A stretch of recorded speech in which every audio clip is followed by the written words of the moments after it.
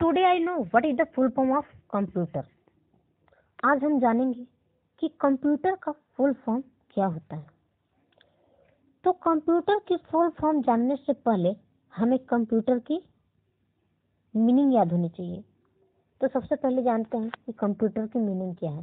तो कंप्यूटर की मीनिंग होती है C O M P U T E R अब इस हर एक लेटर का कोई अर्थ निकलता है, मान निकलता है। तो एक एक लेटर से पता करेंगे आखिर क्या होता है, क्या छिपा है कंप्यूटर में। तो सी स्टैंड फॉर कॉमनली अर्थात सामान्यता।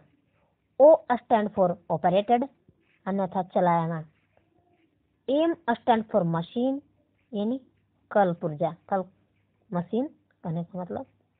पी स्टैंड फॉर पार्टिकुलरली अर्थात लगातार। U stand for use for अर्थात प्रयोग करना। And T stand for time pass यानी समय को पा, पास करना। ई स्टैंड फॉर एजुकेशन अर्थात शिक्षा। And R stand for research किसी चीज़ पर खोज करना। यानी सामान्यतः चलाने वाला वह मशीन जिसका लगातार प्रयोग करके हम अपने टाइम पास के साथ साथ शिक्षा भी प्राप्त करते हैं और किसी भी चीज़ की खोज भी करते हैं रिसर्च करते हैं किसी चीज़ के बारे में। तो ये सब जिस डिवाइस के द्वारा किया जाता है, उसी को कंप्यूटर कहते हैं। इसके अलावा हम दूसरे ढंग से भी कंप्यूटर के मतलब उसका मान, अर्थ और फुल फॉर्म जान सकते हैं, बहुत सारे होते हैं। तो पहले जानते हैं कि कंप्यूटर का हिंदी क्या होता है कंप्यूटर का हिंदी होता है संगणक। संगणक कहने का मतलब किसी चीज़ या किसी भी के बारे में, किसी के भी बारे में, किसी भी चीज़ के बारे में, वस्तु के बारे में या कोई भी चीज़ ब्रह्मांड में है, उसकी हर ज्ञान, हर गणना रखने वाली चीज़ ही कंप्यूटर कहलाता है, संगणक कहलाता है। तो इसकी दूसरी फॉर्म फॉर्म जानते हैं। कंप्यूटर की दूसरी फुल फॉर्म में बस थोड़ी सी चेंजिंग है।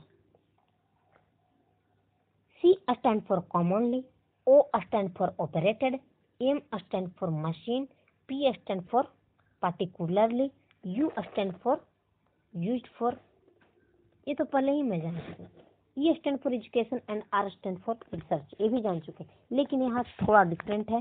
टी स्टैंड फॉर ट्रेनिंग उसमें था कि T stand for time pass but यहाँ टी स्टैंड फॉर ट्रेनिंग तो फिर से बताते हैं कि सी स्टैंड फॉर कॉमनली अर्थात सामान्यता ओ स्टैंड फॉर ऑपरेटेड अर्थात चलाना, और एम स्टैंड फॉर मशीन यानी कल्प ऊर्जा machine P stand for particularly अर्थात लगातार U stand for use for अर्थात प्रयोग के लिए, और टी स्टैंड फॉर ट्रेनिंग यानी किसी चीज़ की लगातार जानकारी में लगे रहना।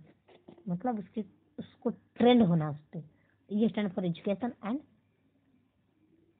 R stand for research अर्थात खोज।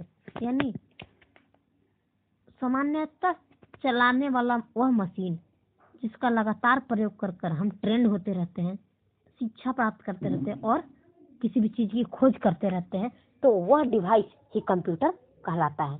तो यही थी कंप्यूटर की फुल फॉर्म